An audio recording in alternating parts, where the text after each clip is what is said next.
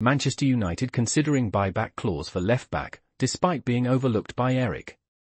Manchester United are considering re-signing left-back Alvaro Fernandez Carreras from Benfica, despite being overlooked by Erik Ten Hag. Carreras, who joined Benfica on loan before making the move permanent, has impressed this season with seven starts. Real Madrid and Barcelona are also interested.